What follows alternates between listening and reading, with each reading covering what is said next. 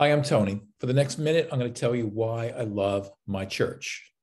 First United Methodist Church at 42 Cross Road in Stamford, next to Lord and Taylor.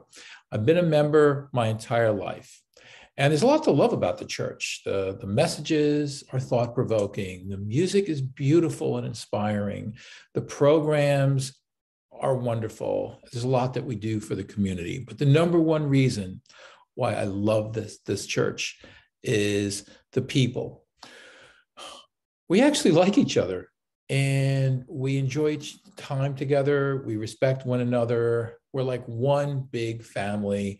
We're not perfect, but who is? Anyway, I'm here to invite you to Easter week, Holy Week services.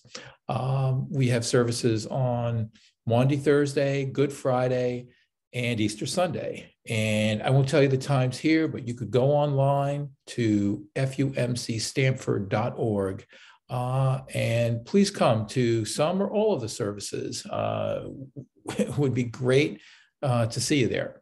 Uh, and, you know, think about it. In these days, when there's so much anger and so much division, um, I think we all need a place where we can go where we're respected and we're accepted and um, we could feel like like we have some friends like like a big family. Um, hope to see you there. Thanks so much. Bye.